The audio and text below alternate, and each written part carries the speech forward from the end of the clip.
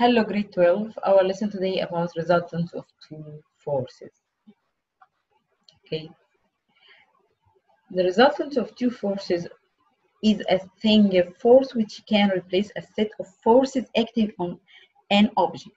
It has exactly the same effect on the object as the original set. Okay. First case, if these forces are parallel. Okay.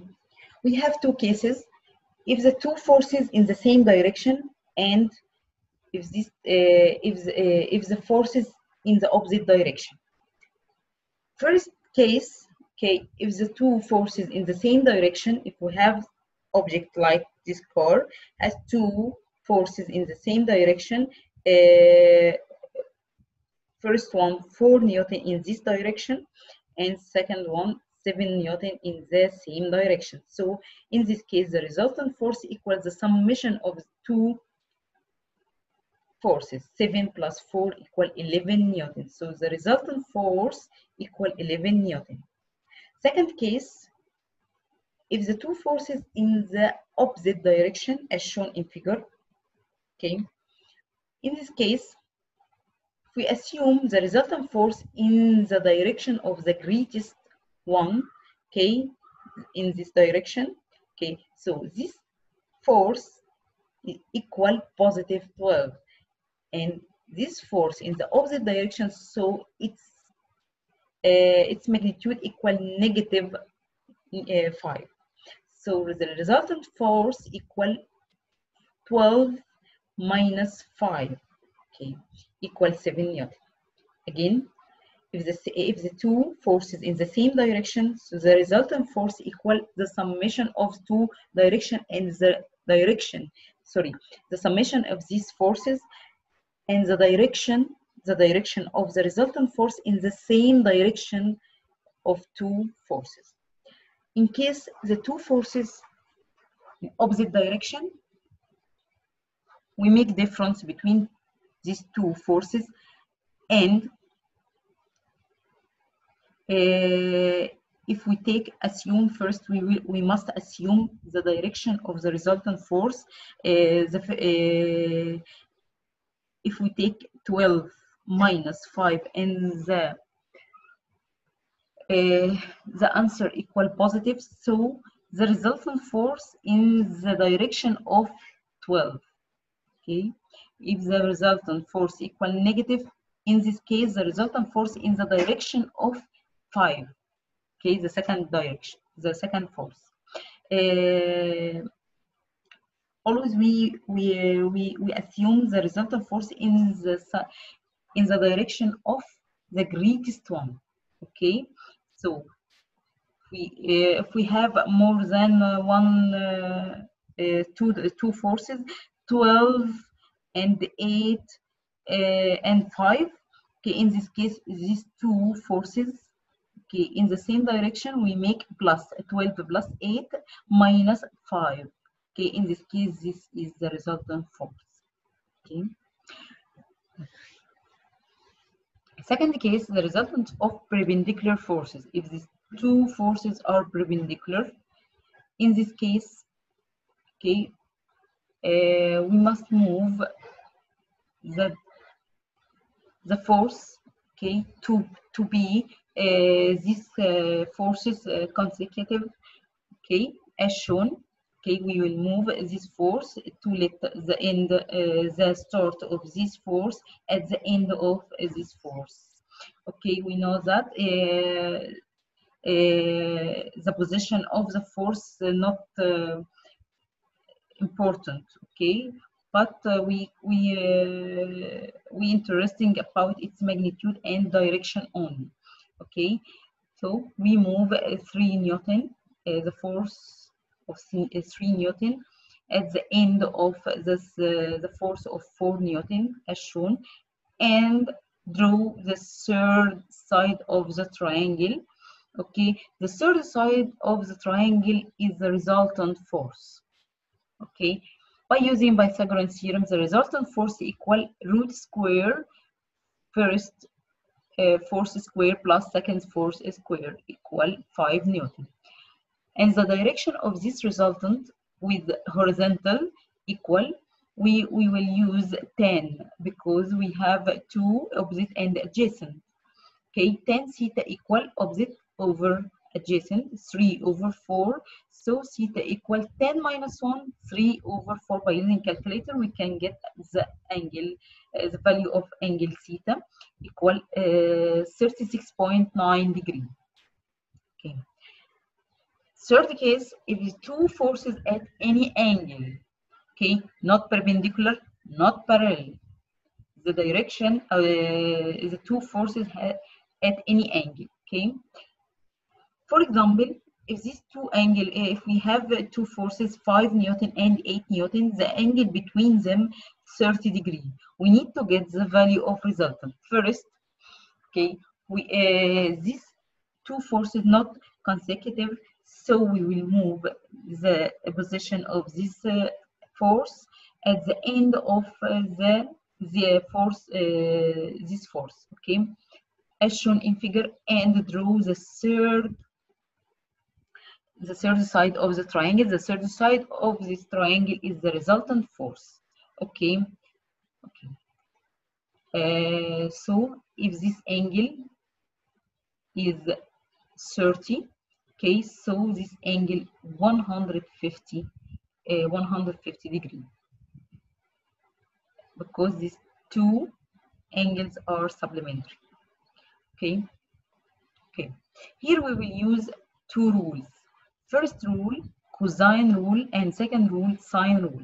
We will use cosine rule to get the magnitude of the resultant force and we use sine rule to get the direction of the resultant okay?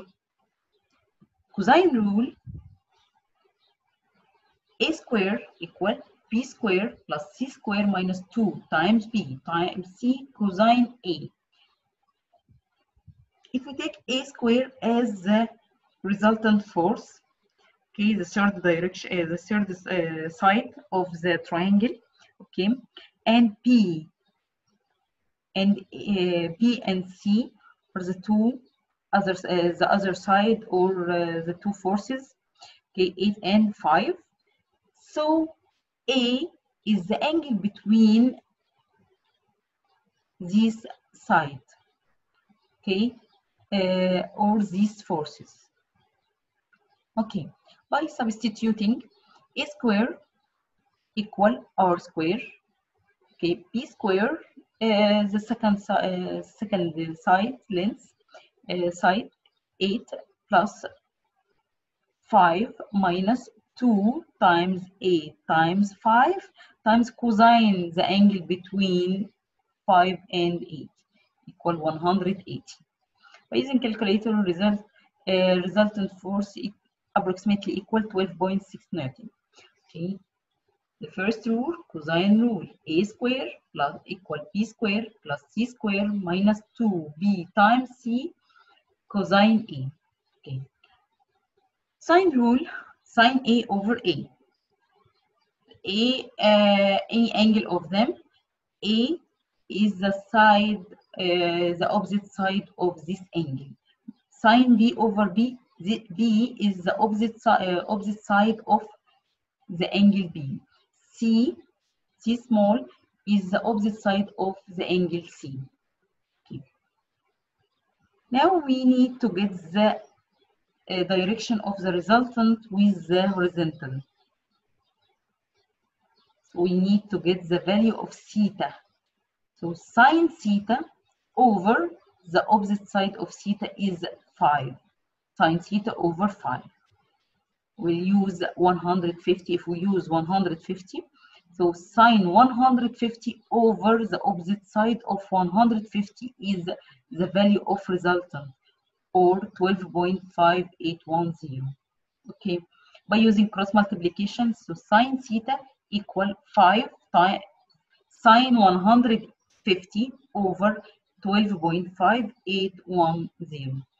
Giving sine theta equal 0.198712. By using calculator shift sine, uh, we get the value of the theta, uh, of theta equal 11.5 degree. Okay, another example. we have two force 15 and 25 the angle between them 130 but this force is not consecutive so we will move the, this force to the end of the other force by this way okay? In this case the angle between the two forces is 50 degree okay? And draw the third side of the triangle. The, this uh, side is the resultant okay again we'll use cosine rule and sine rule. Cosine rule to get the magnitude the magnitude of the resultant and using sine rule to get the direction of uh, this uh, resultant okay. Again cosine rule a square equal b square plus c square minus 2bc cosine a okay. We uh, we take a by the uh, side of resultant r square equal other side square 25 square plus 15 square minus 2 time, times 25 times 15 times the cosine. The angle between these forces or cosine 50 okay and using calculator to get the resultant magnitude equal 19.2 newton. Again we'll use sine rule to get the direction of the resultant with the, uh, the horizontal okay? Sine a over a again uh, small a is the opposite side to the angle big a okay? And small a b is the opposite side to the angle big c uh, big uh, b okay? And c small is the opposite side to the angle c. Okay so sine theta okay over 15 the opposite to theta the opposite side to theta is 15 so sine theta over 15 equal sine 50 over the value of resultant okay? So sine theta over 15 equals sine 50 over resultant force 19.18096 okay by using cross multiplication is sine theta equal 15 times sine 50 over 19.2 so sine theta equal uh, 0.5991 uh, shift shift sine we will get the value of theta equal 36.8 degree. Okay. Again another example. Find the magnitude of the resultant of the forces shown in the sketch and the angle it make with the larger force okay? Which larger? It is larger and it in uh, uh, is a horizontal force. Okay again as a force not consecutive so we'll move, we will move this force at the end of this force by this way and draw the third side of the triangle by this way okay in this case the angle between the two forces is 130 okay? We'll use cosine rule and sine rule. Cosine again cosine rule to get the magnitude of the resultant force and sine uh, sine rule to get the direction of the resultant force okay? Uh, okay r square equal 8 square plus 5 square minus 2 times 8 times 5 times cosine the angle between them. Okay or cosine 130 so given uh, gives r equal 11.9 newton okay by using sine rule we'll use sine theta over 5 equal sine 130 over resultant or 11.9 we'll use uh, we'll use uh, cross multiplication 5 uh, times sine 130 over 11.9 and uh, use shift cosine to get the value of theta equal 18.9 degree. Okay. Thank you. Grade 8